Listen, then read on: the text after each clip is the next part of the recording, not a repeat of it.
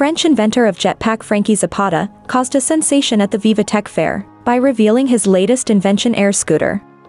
This single-seat vertical landing aircraft promises a unique flight experience and a new form of tourism, the fly trip allowing you to visit the world in height. Air Scooter comes in the form of a fully glazed cockpit, resembling an egg, and is piloted using two joysticks. The left joystick allows you to change direction, while the right one allows you to gain height.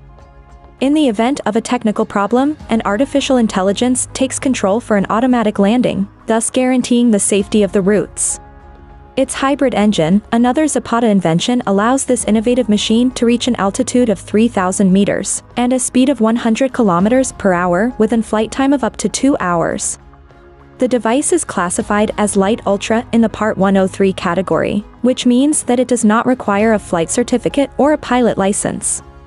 However, these regulations apply only in the United States and China, but not in other parts of the world. It is on the basis of these regulations that Zapata will finally launch a commercial offer.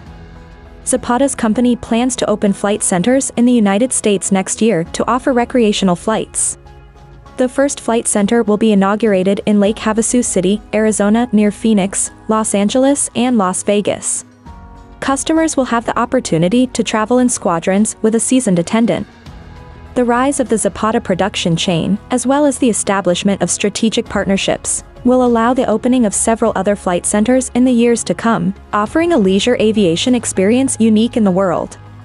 If tourism is the main vector for the development of Air Scooter, Franky Zapata plans to tackle the mobility market as soon as regulations allow, thus opening up new perspectives for this revolutionary flying machine.